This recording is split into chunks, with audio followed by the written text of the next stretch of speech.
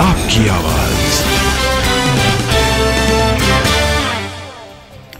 लोकसभा में आज भी विपक्ष का हंगामा जमकर की नारेबाजी पीएम से मणिपुर हिंसा पर बयान देने की मांग। राज्यसभा में मणिपुर के मामले को लेकर हंगामा सोमवार को सुबह 11 बजे तक के लिए कार्यवाही स्थगित। संसद परिसर में गांधी प्रतिमा के सामने बीआरएस सांसदों का प्रदर्शन, दिल्ली सेवा बिल पास लेने की मांग। नेहरू पर बयान को लेकर प्रमोद तिवारी का अमित शाह पर पलटवार, कहा कि गलत आंकड़ा पेश करके गृह मंत्री ने बगड़ाया विशेष अधिकार नोटिस पर बोले राघव चड्ढा, पहले भी कई बार नेताओं के खिलाफ लाया गया है नोटिस, ऐसे नेताओं की लिस्ट में शामिल होने पर गर्व। बीजेपी ने अपने लोकसभा सांसदों को जारी किया व्हिप सात से लेकर 11 अगस्त तक सदन में मौजूद रहने का आदेश। दिल्ली सेवा बिल को लेकर विपक्ष के विरोध पर अनुराग ठाकुर का पलटवार, कहा कि उनके पास तर्क तथ्य नहीं, देश को किया भ्रमित मोदी सरनेम के मामले में बोले कांग्रेस सांसद अधीर रंजन चौधरी, संसद में राहुल की आवाज़ दबाने के लिए सत्ता के आदेश पर हुआ एक्शन। संसद में इंडिया गठबंधन के नेताओं की मीटिंग, राज्यसभा में नेता विपक्ष खड़गे के दफ्तर में आगे की रणनीति पर चर्चा। दिल्ली हाईकोर्ट का केंद्र, ईसी और कई विपक्षी दलों को नोटिस, राजनीतिक पार्टियों के नाम में इंडिया के इस्तेमाल पर रोक को लेकर याचिका। सुप्रीम कोर्ट में मनीष सिसोदिया की बेल पर अब 4 सितंबर को सुनवाई, ईडी और सीबीआई को जवाब दाखिल करने का दिया समय। सुप्रीम कोर्ट की कलकत्ता हाईकोर्ट की पोर्ट प्लेयर बेंच के आदेश पर रोक अंडमान के मुख्य सचिव के सस्पेंशन और एलजी पर जुर्माने का मामला। सुप्रीम कोर्ट का yes bank founder Rana Kapoor की जमानत विचार करने से इनकार, कहा कि मनी लॉन्ड्रिंग के केस से फाइनेंशियल सिस्टम को ढीला किया। नू हिंसा पर सरकार का एक्शन जारी, तावड़ू इलाके में चला बुलडोजर, रोहिंग्या मुसलमानों के अवैध कब्जे ध्वस्त। नू दंगे में रोहिंग्या के भी शामिल होने का शक, आरोपियों से पुलिस पूछताछ कर रही है।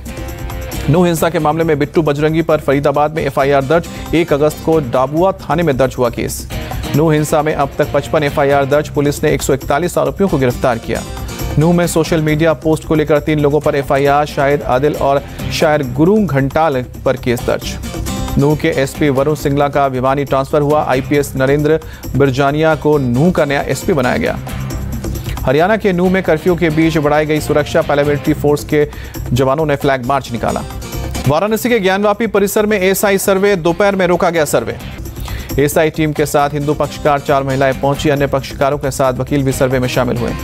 एसआई सर्वे पर बोले, हिंदू पक्षकार सोहन लाल, डीएम ने नई लिस्ट में मेरा नाम जोड़ा, सुधीर त्रिपाठी, विष्णु शंकर और हरिशंकर जैन भी शामिल। वाराणसी में ज्ञानव्यापी परिसर के आसपास कड़ी सुरक्षा, पुलिस ने बैरिकेडिंग करके संभाला मोर्चा।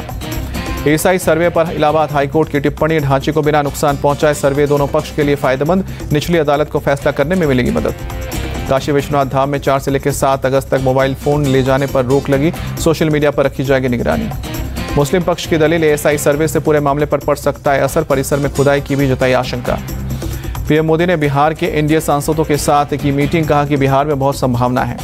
सांसदों को चुनाव में जीत का दिया मंत्र, कहा कि विकास और लाभार्थी सबसे अहम।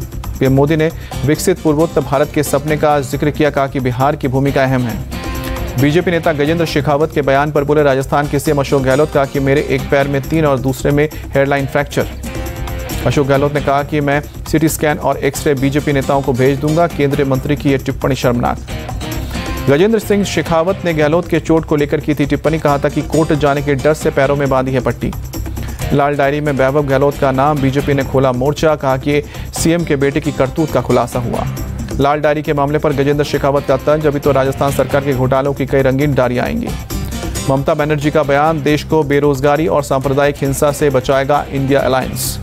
ममता सरकार पर बरसे शुभेंदु अधिकारी, कहा कि प्रदेश में बेरोजगारी व्याप्त 12 साल में एक भी नया एयरपोर्ट नहीं बना। बिहार बीजेपी चीफ का सीएम नीतीश पर आरोप, प्रदेश में क्राइम बढ़े हैं, शराब माफियाओं का बोलबाला, लेकिन सीएम चुप। हेट स्पीच के खिलाफ समाजवादी पार्टी ने मुंबई में आक्रोश मोर्चा के आयोजन किया। बड़े पैमाने पर पार्टी कार्यकर्ता शामिल हुए। आक्रोश मोर्चा को संबोधित करते हुए अबू आजमी ने लगाया आरोप कहा कि हिंदू और मुस्लिम समाज के बीच भाईचारे को खत्म करने की कोशिश। महाराष्ट्र सरकार का एक बड़ा फैसला, राज्य सरकार के अस्पतालों में अब मुफ़्त होगा इलाज। मुंबई के जेजे हॉस्पिटल पहुँचे सीएम शिंदे और deputy CM Ajit Pawar. Art director Nitin Desai को दी अंतिम श्रद्धांजलि। झारखंड में प्रतियोगी परीक्षा bill 2023 pass. CM Hemant Soren बोले, हम नहीं चाहते हैं छात्रों को पहले की तरह संकट का सामना करना पड़े। दिल्ली में कांग्रेस आलाकमान से मुलाकात के बाद बोले डी के शिव कुमार कांग्रेस के कर्नाटक मॉडल को देश में लागू करने पर हुई है चर्चा। कांग्रेस चीफ खड़गे का ट्वीट लिखा कि पिछले पाँच साल में सिर्फ़ बारह लाख बीस हज़ार लोगों को मिली है जॉब। हैदराबाद में कांग्रेस कार्यकर्ताओं का जोरदार प्रदर्शन, सरकार से बाढ़ प्रभावित लोगों की मदद करने की मांग। दिल्ली की पटियाला हाउस कोर्ट ने पहलवान बजरंग पुनिया को किया तलब 6 सितंबर को पेश होने को कहा। कुश्ती कोच नरेश धैया ने दर्ज कराया है आपराधिक मानहानि केस। 10 मई को जंतर मंतर पर अपने खिलाफ अपमानजनक टिप्पणी को लेकर की थी शिकायत। अवैध खनन के मामले में एनजीटी पैनल की जाँच को ब्रजभूषण ने बताया फर्जी कहा कि मेरे खिलाफ किया जा रहा है दुष्प्रचार। थाने में कॉलेज में एनसीसी कैडेट्स को पीटने का वीडियो आया, सामने सीनियर कैडेट ने जूनियर कैडेट्स पर बरसाए डंडे। वीडियो वायरल होने के बाद कॉलेज में मचा हड़कंप। प्रिंसिपल ने कहा कि कैडेट से बातचीत करने के बाद आरोपी सीनियर पर कार्रवाई। कॉलेज के प्रिंसिपल ने छात्रों के घर वालों से की अपील, कहा कि अपने बच्चों को एनसीसी से दूर ना रखें, पिटाई करने वालों को माफ़ नहीं करेंगे। कॉलेज की प्रिंसिपल ने कहा कि वीडियो में पिटाई करता दिख रहा है, शख्स टीचर नहीं, इस तरह का व्यवहार नहीं होगा बर्दाश्त। दिल्ली से गृह मंत्री शाह ने सहारा रिफंड पोर्टल के ज़रिए दी बड़ी सौगात। सहकारी समितियों के जमाकर्ताओं को ट्रांसफ़र की गई राशि। अमित शाह ने कहा कि 112 लाभार्थियों को दस दस हज़ार रुपए की पहली किश्त ट्रांसफ़र हुई है। अब तक 18 लाख लोगों ने पोर्टल में रजिस्ट्रेशन कराया। दिल्ली की फ्लैट महिला लाभार्थी के पत्रों को पीएम ने ट्वीट किया, लिखा कि विदेश मंत्री को लेटर सौंपकर आवास मिलने की खुशी की चाहत अस्ताना में चौथा Bharat Kazakhstan security dialogue deputy NSA Vikram Misri की कजाक प्रतिनिधिमंडल के साथ बातचीत हुई। गांधीनगर में health minister G twenty meeting की तैयारी तेज। केंद्रीय स्वास्थ्य मंत्री मनसुख मंडाविया कल करेंगे समीक्षा बैठक। केंद्रीय मंत्री हरदीप सिंह पुरी का बयान, कहा कि दुनिया की तीसरी सबसे बड़ी अर्थव्यवस्था बनने की दिशा में आगे बढ़ रहा है देश। केंद्र सरकार ने लैपटॉप, टैबलेट और कंप्यूटर के आयात पर लगाई रोक, मेक इन इंडिया के तहत घरेलू उत्पादन को बढ़ावा देना मकसद। जम्मू कश्मीर के पुलवामा में एनआईए की रेड, दो जगहों पर ली तलाशी, टेरर फंडिंग केस में छापेमारी। सीमा हैदर घुसपैठ केस में सशस्त्र सीमा बल का एक्शन, एक इंस्पेक्टर, एक हेड कांस्टेबल को किया सस्पेंड, जाँच में लापरवाही का आरोप। बेंगलुरु में अग्निवीर बैच की passing out parade ASC centre में जवानों ने दिखाई दक्षता। कुल्लाम से लापता सेना का जवान छह दिन बाद मिला। जवान की माँ ने जताई खुशी, सेना को दिया धन्यवाद।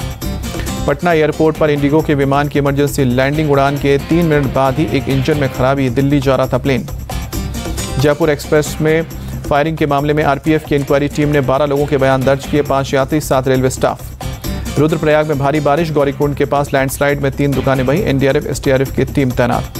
फ्लैश फ्लड के दौरान दस से ज़्यादा लोग लापता, खोजबीन में जुटा है प्रशासन, आपदा प्रबंधन अधिकारी ने दी जानकारी। हिमाचल में बारिश लैंडस्लाइड से 330 सड़कें बंद, नितिन गडकरी ने दिया 400 करोड़। पीडब्ल्यूडी मंत्री विक्रमादित्य सिंह ने दिया धन्यवाद।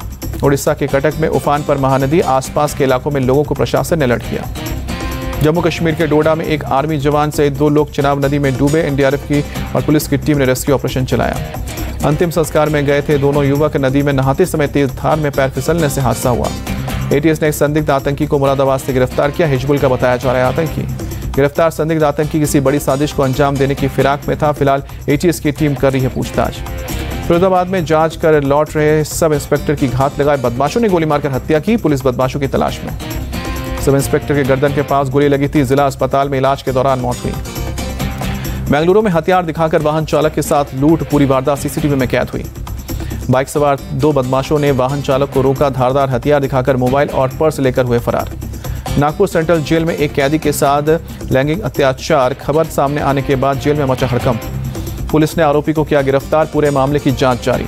पंजाब के लुधियाना में साइकिल फैक्ट्री में लगी भीषण आग मौके पर पहुँची फायर ब्रिगेड की टीम, कड़ी मशक्कत के बाद आग पर काबू। यूपी के नोएडा में एक सोसाइटी का लिफ्ट टूटने से महिला की मौत, लिफ्ट का तार टूटने से हुआ हादसा, आठवीं मंजिल से सीधे नीचे गिरी। सोसाइटी की मेंटेनेंस कंपनी के डायरेक्टर, अपार्टमेंट ओनर्स एसोसिएशन पर एफआईआर, फैसिलिटी मैनेजर और लिफ्ट कंपनी पर भी केस। कोलकाता में ट्रक की टक्कर से बच्ची की मौत, नाराज़ लोगों ने हंगामा और तोड़फोड़ की। हंगामा कर रहे लोगों पर पुलिस ने लाठीचार्ज किया, आँसू गैस के गोले भी दागे। बेंगलुरु में माँ बाप ने की दो बेटी की गला दबाकर हत्या, फिर खुद पंखे से लटक कर जान दी, पुलिस जाँच कर रही है।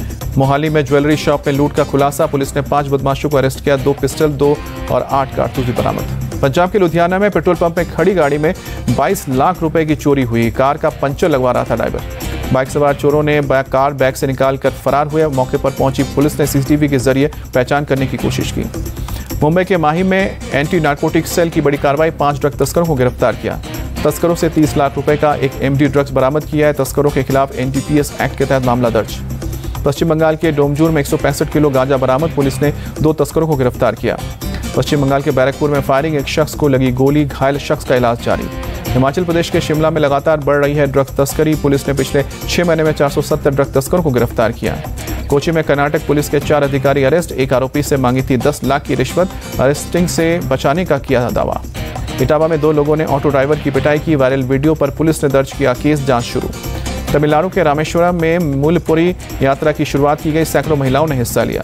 जम्मू कश्मीर के उपराज्यपाल मनोज सिन्हा ने दमदमा साहिब में नए गुरुद्वारे का उद्घाटन किया। मनोज सिन्हा ने गुरुद्वारे में मत्था भी टेका। ऑस्ट्रेलियन ओपन के क्वार्टर फाइनल में हारी पीवी सिंधु अमेरिकी खिलाड़ी बेवाइन झांग को 21-12, 21-17 से हराया। वेस्टइंडीज ने पहले टी मैच में भारत को चार रन से हराया। पाँच मैचों की सीरीज़ एक शून्य से आगे बढ़त की।